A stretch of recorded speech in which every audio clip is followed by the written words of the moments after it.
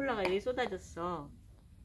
이렇게 굴러다니잖아요. 실제로 이렇게 이런 카펫에 금방 스밀 텐데 굴러다니 아직도 떠 있잖아요. 음. 근데 이런 거를 이렇게 담을 수 있는 거야. 어. 호주에서는 그래서 엎질러진 물을 담을 수 있다고 그러거든요. 이렇게 다 들어가죠. 아, 정말 다 들어가네요. 음. 안 스며드네요. 이제 좀 오래되면 스며들겠지만 그래도 막 완전히 들어가고 그러진 않고요. 음. 물도. 그런가요? 물도 그렇고. 아, 탄산음료 말고 다른 것도? 어,